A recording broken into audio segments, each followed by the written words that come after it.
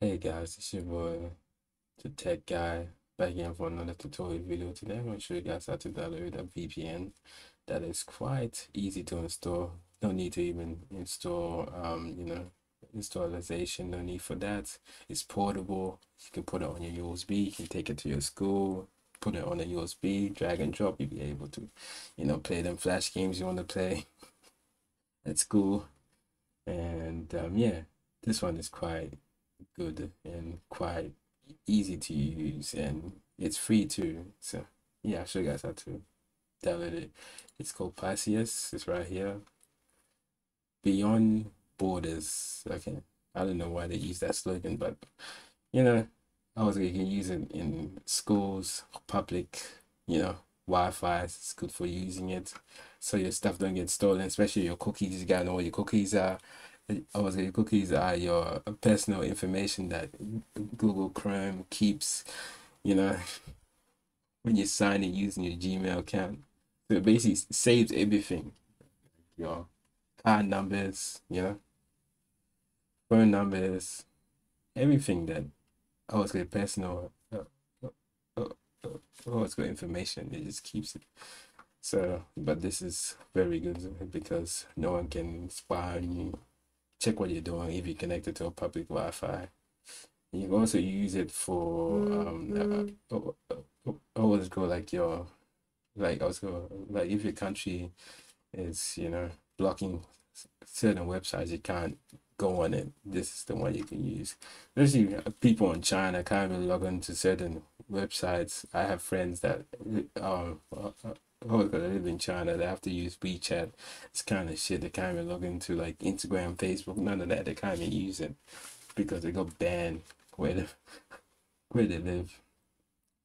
But basically, this this VPN is quite decent. It's really good for the. I was for the thing is like this VPN is for free.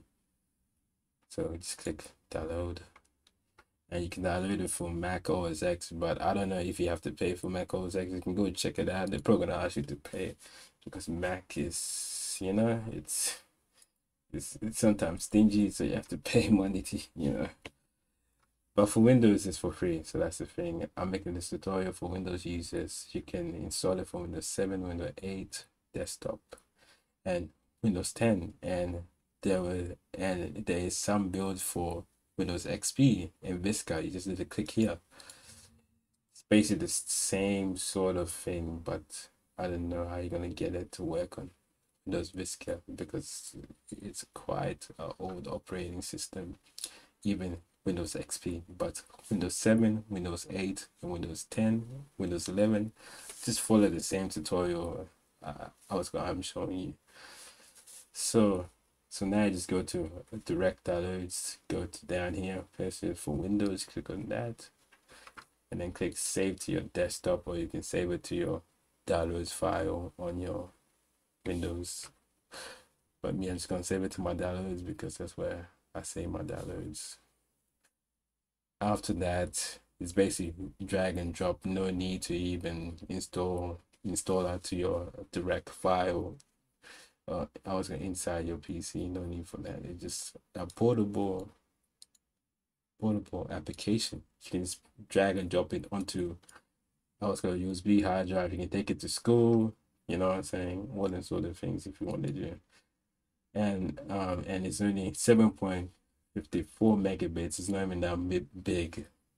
It's quite small. You can fit it in like one hundred twelve megabit USB if you wanted to. Okay. Enough making jokes. Um okay, let's go click on it. You know. Or just right click and run as administrator, but there's no don't also no need to do that. But people in the comments are gonna say, bro, just run it as let's go administrator. So I'm just gonna run it as administrator. Because yes, now click yes.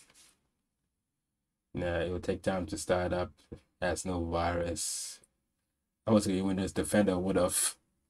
Uh, I was gonna pick something up. Either I was gonna, if I was if there was a virus anyway. So yeah, I will just go down. There you can go and select the server region. I'm gonna do um, Japan. Okay.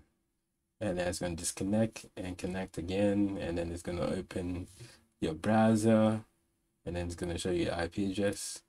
So apparently my location is in Tokyo, Japan, and my IP address is this.